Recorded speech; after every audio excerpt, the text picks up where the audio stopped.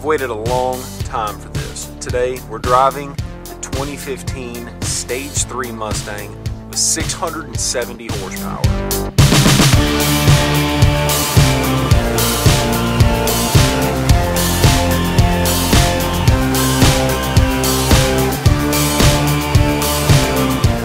For the 2015 Mustang, the guys at Roush Performance have completely converted this into a 670 horsepower machine.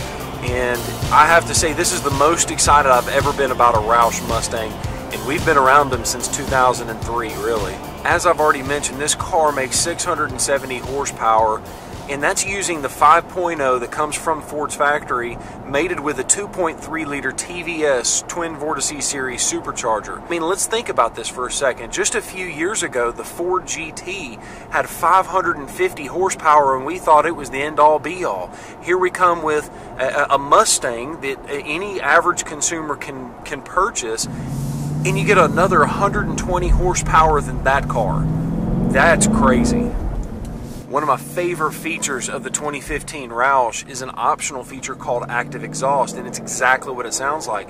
You can customize the exhaust however you want it, from extremely quiet and it sounds like a stock Mustang, all the way to completely bananas. And the way it works is the system is actually a four tipped exhaust, and so if the exhaust flows through the outside of those four tips, the car is very quiet if the exhaust flows through the inside tips, then it makes it extremely loud. That's how you can customize your exhaust system however you'd like. Next, let's talk about suspension. This car does feature, because it's a stage 3, it comes with the standard one-way adjustable coilover suspension system, and you can really tell there is a different ride height on this car versus the standard stage 2s and then also the uh, stage 1, which is based on the EcoBoost. If this car has half the handling prowess of last year's model, uh, and you can combine that with a much better drivability that you get with the 15, there's no reason to go back and look at a 14 Roush. The 15 is going to be the best way to go. If you haven't already seen our little synopsis video of the Roush Stage 3, make sure to check that out. We go through and count the number of Roush badges that are on this car, and it's absolutely ridiculous.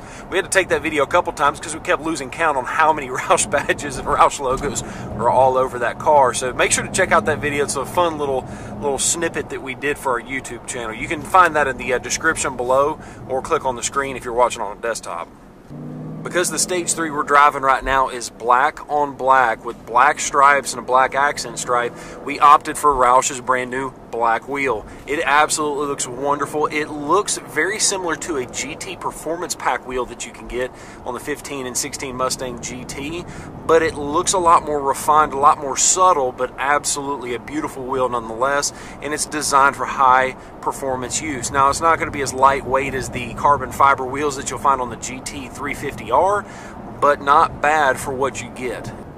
One of the things I absolutely love about the Roush Mustang is that they serialize everything. I mean, you know exactly what you're getting as you take delivery of this vehicle. For instance, on the dashboard and underneath the hood, you have a plaque that tells you exactly which vehicle this was produced going down the factory line. And then you also have a uh, another sticker on the passenger side. The difference between those two, because they're going to have two different serial numbers. The dashboard plaque and underneath the hood plaque tells you which version of the Stage 3 it is.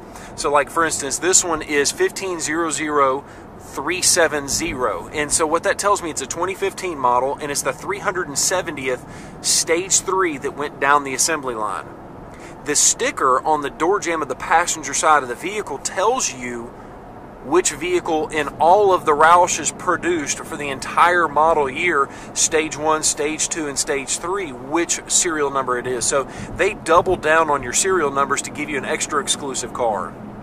Because we love to start fights on the internet, I want to start one right now. Let's compare this vehicle to the Hellcat. 700 horsepower Hellcat versus a 670 horsepower Mustang.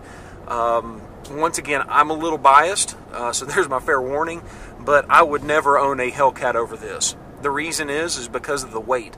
The Hellcat is a boat. You can't argue that. It's big, it's heavy, it doesn't want to turn. This one has got less horsepower, but is very nimble and very agile. So that's the reason that I would not choose a Hellcat over this. Once again, it's just my personal biased opinion. Uh, be with it as you may. All right, let's talk about the Camaro ZL1 versus the Stage 3 Roush. There's no way on the planet I'd drive a Camaro, and that's not because I'm a Ford fanboy. It's just simply I'm six foot three. I get in the car, and the blind spots in that car are so bad I can't see. I feel like I'm going to run people off the road all day long, and so the specs on the car are fine. I have nothing wrong with that. I just couldn't drive this car every single day like I feel like I could in this Mustang. Lastly, let's talk about the Stage 3 compared to the GT350 and GT350R. This one I'm a little bit torn on. Once again, biased. I'm Ford, so this is really the best comparison on which one I would like to do. The Shelby GT350, I haven't had a chance to drive one just yet, uh, but I have been nerding out all over the specs on that car. And when you compare this car to that car, yes, there is a slight price difference if you're looking at a GT350 versus this car. This car is a little bit more expensive, but you get a lot more for it. You get a ton more horsepower. You get a lot better, well, I say a lot better. It's going to have very similar handling characteristics. I think some of the specs on the Stage 3, as far as the, the, the horsepower, torque, handling, and things like that, that favors me and what I'm looking for. I like loud and obnoxious. Both cars basically will take care of that. It's a hard decision between this and a Shelby. Although it's not a, a clear victory, I probably am leaning a little bit more towards this Stage 3, but I do love that Shelby. That is a nice car. And that about wraps up our video today. Thank you again so much for watching Town and Country TV. Once again, not intended to be a sales pitch at all. We just hope we can provide some information for you. If you like these Roush Mustangs, make sure to thumbs up the video. That's a huge help to us. Uh, and lastly, make sure to check out our Mustang inventory in the link down below. We are going to provide all of our Mustangs, not just the Roushes, so every single budget will fit in there. Make sure to click on that link and you'll be able to see all of our inventory. Once again, go Chuck Norris on that like button. Make sure to comment and let me know, do you think my choices on the Versus cars is accurate? And uh, lastly, make sure to share the video and do not forget to subscribe. Subscribe, subscribe. Thank you again so much for watching Town Country TV. I'm your host, Mitchell Watts. Have a great day.